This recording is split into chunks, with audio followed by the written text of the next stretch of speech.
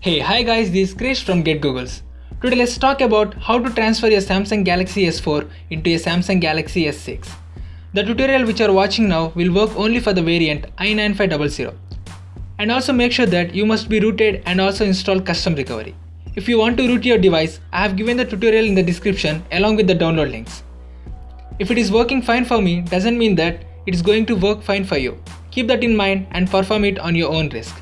So without any further ado, let's get started.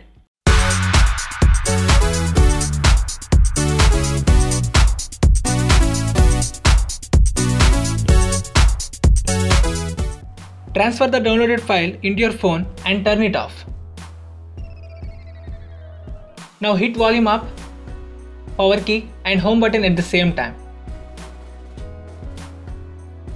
And release the case once you see the Samsung logo.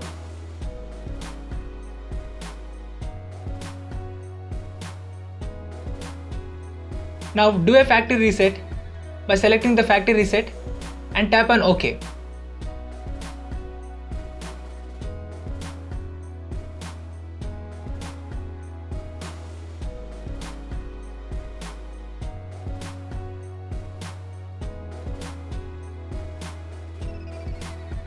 After that, wipe cache partition and tap on S.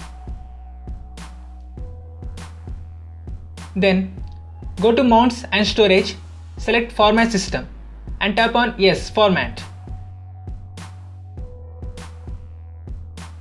Then go back, select advanced, then wipe Dalvik cache and tap on S.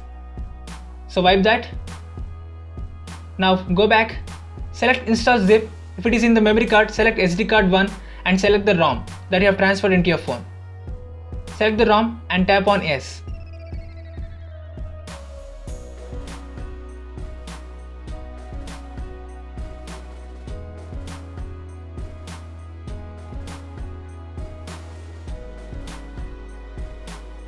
Now you need to select a theme for Aroma installer. So I want to keep it as default. Once you select the theme, hit on next. Select your preferred language and hit on next. So next, agree the terms and conditions, next. And here please choose one of the options like TouchWiz. I would like to select the second one which supports the grids and I would like to and rest of them keep it as default if you want it. Next, install now. It may take around less than 2 minutes so let me skip the process. So it's almost done 80%.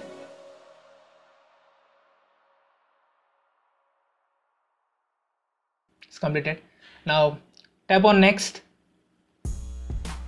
Go back to menu. No, I don't want to go back. So keep it on next so I would like to finish. So the installation has been installed now. Your device will reboot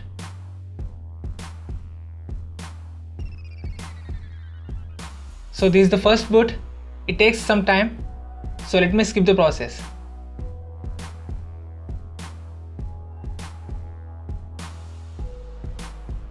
This is the welcome screen. I will get back to you soon when I set all the settings it's almost done. Hit on finish. Once you've done it. So this is the first home screen you will get. Let me so this is the briefing. Which comes by by swiping from left. This is app drawer. Which is smooth. Just like an Samsung Galaxy S6 let me check the dialer. There is a wall behind the dialer. You can see it. Let me see the notifications. Yeah. It looks fine. Cool okay let me show you the settings. Go to about device. And you can see it's running the android version 5.0.2 and your device model number also has been changed. So guys if you have any questions please comment them in the below. I would like to answer them. Hope you can like this video. If you did it please hit the thumbs up button and also subscribe to our channel for the future videos. Thanks for watching. I would like to see you in my next video